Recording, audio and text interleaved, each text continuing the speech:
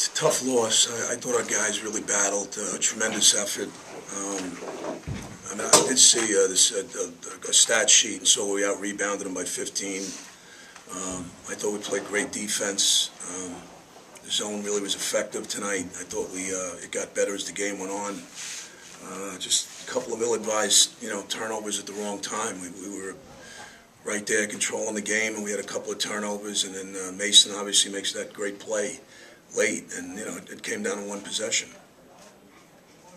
The, the shot that Downey had at the end was that what you guys were looking Yeah, for out of that? yeah, we, we drew, drew the play up and did exactly, uh, did exactly. Kyle did exactly what, what we do in practice. You know, he, he didn't take the three, he drove it.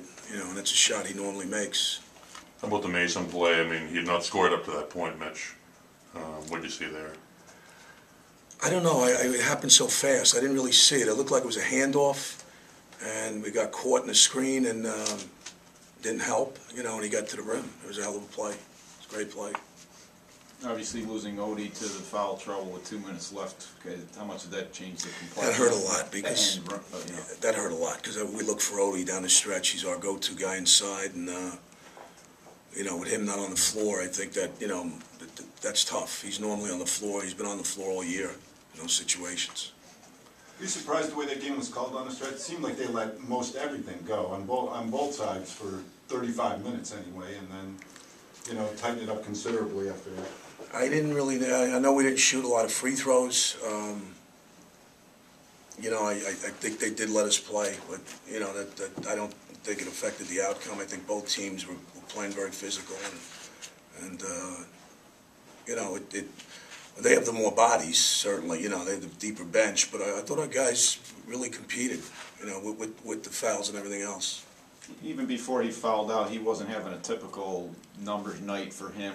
How much was their double teams uh, affecting him? Well, they were Mike doubling him every time he got the ball. They also zoned.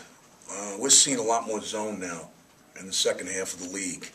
I mean, we've seen zone now three, four games in a row, and, and teams are with the zone and taking him out of the game. And, uh, you know, we have not shot the ball great really all year. And, and, you know, I think teams are, you know, they know you better this time of the year. So I think Niagara banked on us missing shots. Uh, remember you talked about Green and Mason as their two freshmen, but Tanksley had a huge night tonight, Mitch. Uh, did that catch you guys off guard a little bit? Tanksley uh, made some huge threes. You know, he was he was he really in the first half kept um, he really uh, you know kept them ahead in the first half with his threes, and then he made a couple of big shots in the second half. But the, the, the our defense I thought was really sound. I really thought we defended them well. I think uh, they shot. I think they shot in the high 30s. So anytime you can hold a team like Niagara at home to, to that shooting percentage, I think it's it speaks to our defense. you guys have been operating with so kind of a sense of urgency anyway, but how much more so now after you know these guys are tied with you in the standings and we're getting down there. Well, I'm, I'm real happy with this effort, Mike. I mean, this uh, this this was a game that you know really uh, came down to one possession. I mean, I, I'm, I, I, you know, our guys really battled. I mean, uh, you know, we only played six guys. You know, the the, the concern now would be playing on Saturday. That's that's the game. You know, that's the game that's been pro- uh, a problem for us. You know, that back end game. So I hope I hope we have our leg, legs for Canisius.